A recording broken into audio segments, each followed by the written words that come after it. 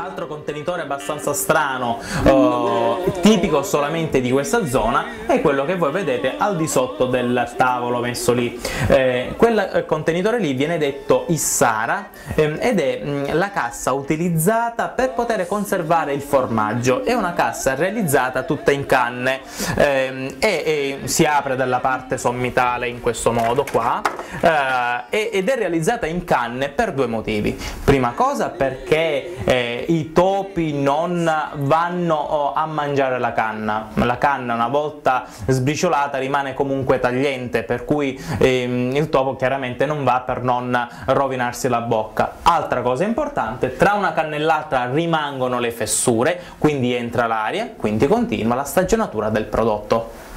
Questo oh, sistema era talmente eh, efficace che il contenitore per la conservazione del grano eh, era realizzato anche questo in canne. Si chiama cannizzu proprio per questo oh, mo motivo proprio perché è realizzato in canne ed è un silos eh, dove io vado a mettere il prodotto a conservarlo l'intero anno e poi a prelevarlo man mano che mi serve tramite un buchino che si trova nella parte bassa e che veniva tenuto chiuso attraverso la presenza di pezzi cioè di stoffe messe lì a bloccare il tutto.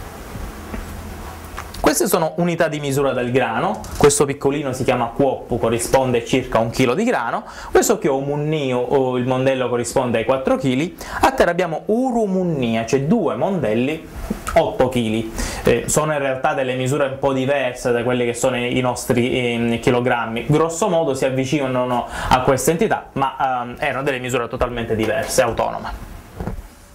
Verso la parte esterna della grotta um, vi è la tannura. Tannura è una parola araba, vuol dire focolaio ed è sostanzialmente il posto dove poter allestire il fuoco. Quindi la legna che noi abbiamo visto in precedenza messa nella grotta veniva in parte tenuta nella parte bassa della tannura in modo da essere messa lì pronta per l'utilizzo e aggiunta al fuoco man mano che veniva, uh, man mano che um, se ne, ne um, verificava la necessità. Uh, e poi a corredo qui ci sono tutta una serie di pentolame, di attrezzi appunto per poter eh, preparare i cibi. E da notare come gli, i, diciamo, oh, i mestoli, i, i, cucchiai sono tutti realizzati in legno, queste cose una volta non si andavano a comprare ma venivano realizzate dentro casa, allora ecco che gli attrezzi che noi abbiamo visto poco fa, eh, gli attrezzi che vi dicevo servivano alla manutenzione del mulino, tutti attrezzi utilizzati anche per la realizzazione eh, di, particolari, eh, di questi particolari manufatti utili all'interno della famiglia. In caso contrario venivano, si usava a conficcarla nel cannizzo in questo modo se erano appunto di fattura diversa.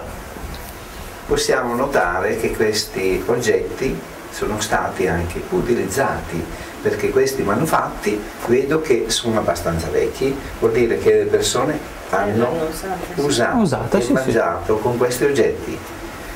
Parliamo di anni circa, eh, beh, qui sono degli oggetti che avranno 40, 60, 70 anni. Certo, certo, anche di più, anche di più alcuni.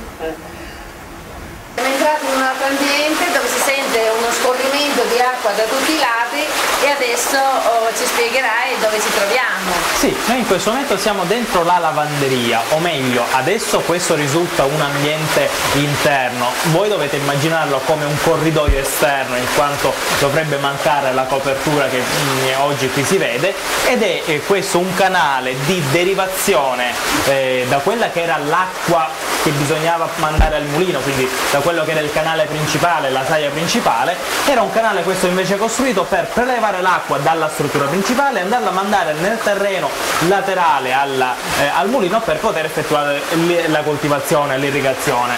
Ovviamente a questo punto, visto che qui vi era la presenza di quest'acqua, è stata utilizzata per poter anche lavare i vestiti, quindi a questo punto non bisognava spostarsi come un po' tutti gli altri lungo il fiume e andare a lavatoi comuni, ma lungo il percorso era stata posta una grossa pietra che fungeva da lavatoio e lì appunto avveniva la pulitura dei, dei vestiti.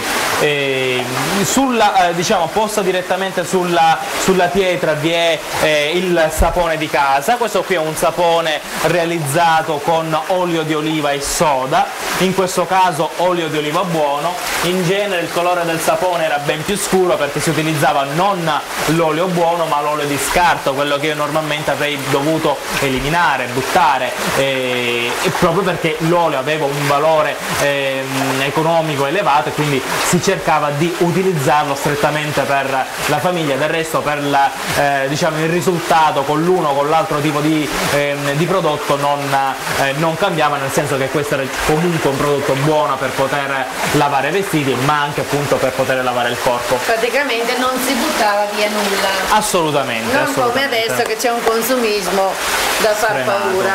Perfetto. Mentre lì in fondo abbiamo oh, diciamo oh, il, uh, il calderone dove veniva fatta la liscia. La liscia consiste nell'andare a prelevare un po' di cenere, metterla all'interno di una stoffa, poi sfruttare le proprietà della cenere che appunto contiene soda per riuscire a sbiancare i vestiti e quindi renderli bianchi, così come adesso oh, si contribuisce a fare con alcuni detersivi moderni che aggiungono la cenere proprio per aumentare la, uh, questo potere sbiancante del detersivo stesso. Mi piace eh, porre in, in, evidenza il fatto che i vestiti che qui sono, sono stesi sono solamente dei vestiti maschili, questo è perché, proprio come vi dicevo poco fa, questo dovrebbe essere un ambiente esterno e una volta all'esterno non bisognava uh, mettere panni femminili e quelli bisognava asciugarli all'interno delle, delle case. Questa è una chiara influenza araba. Per il pudore verso la donna. Esatto, esatto. Complimenti, eh? Grazie. Ma è stato lei a realizzarla? No, no, no, no. Allora, mio papà ha voluto recuperare la struttura in quanto questa qui in realtà sarebbe l'attività di mio nonno, eh, qui c'è stato anche mio bisnonno come mugnaio, per cui chiaramente era la storia della famiglia. Sì, in realtà loro hanno la mai, non è stato mai proprietario. Mio nonno l'ha potuto comprare negli ultimi anni quando poi stavano per andare in disuso e quindi il valore economico ovviamente era diverso. Questa qui invece è la stalla, è un ambiente posto al lato alla lavanderia che noi abbiamo appena uh, visto, che era appunto, ripeto, il posto dove venivano lavati i vestiti, ma uh, in realtà eh, svolgeva anche da stradetta per poter uh, raggiungere quest'altra grotta, grotta già esistente in precedenza alla costruzione del mulino sempre. In realtà questa è una grotta diversa nel suo utilizzo ehm, rispetto a quello che era la sua origine. Voi qui vedete la presenza di due ambienti un ambiente, il secondo rialzato rispetto al, al primo uh, e decisamente più piccolino. Bene, in realtà quello che voi state vedendo in questo momento sono i resti di una chiesetta del periodo normanno, di cui l'ambiente piccolino era il presbiterio, mentre quello più grande è l'aula, perlomeno quello che voi state vedendo è una parte dell'aula, perché la grotta dovrebbe essere di dimensioni maggiori, ma poi è stata eh, tirata giù nella parte anteriore, ma che ai tempi di costruzione del mulino e poi è stata utilizzata eh, semplicemente come, come, stalla con eh, la costruzione di una mangiatoia. Di un...